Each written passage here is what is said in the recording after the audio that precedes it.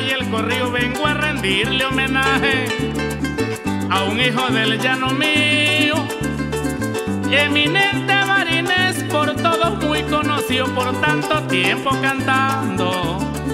Estoy más se ha merecido, por eso el folclor llanero y de gala se ha vestido y el estero cantarino también está divertido. Hasta un del arpa vibra el joropo bravío y mis cantares galopan por el sendero tendido. Un arco iris de gloria te brinda su colorío para decirte Luis Lozada que tú eres el consentido del pasaje del joropo que en tu pecho van metidos porque tu voz es la esencia del llano y su señorío. Relincho de potro indómito, del con nadie lo han confundido y su canto inigualable a mi patria recorrido, despertando sentimientos en pueblos y caseríos. Nuestro acervo cultural de ti se haya agradecido porque tú lo representas con amor, coraje y brío.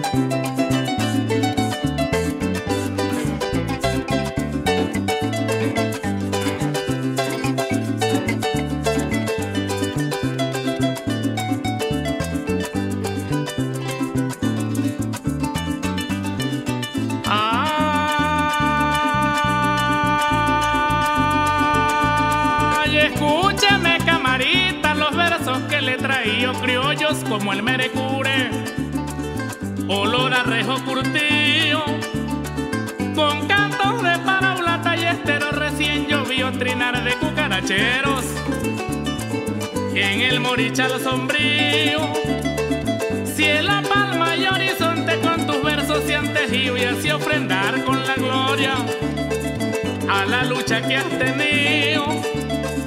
Invulnerable mantenido. Firme tu voz altanera, porque nunca has decaído. Recibo usted, compatriota, este álbum de mi albedrío. Con mucho humilde y respeto, estos versos me han salido. La Virgencita del Real también los ha bendecido.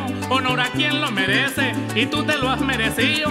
Por eso es que allá en el Real, donde tú fuiste nacido, una plaza con tu nombre, el pueblo te ha construido. Por ser un venezolano, con méritos distinguidos, tu entereza y honradez hoy más se han fortalecido, pero sigue siendo el mismo, porque no eres presumido y a punta de calidad a todos has convencido que del canto criollo y recio tú fuiste el elegido.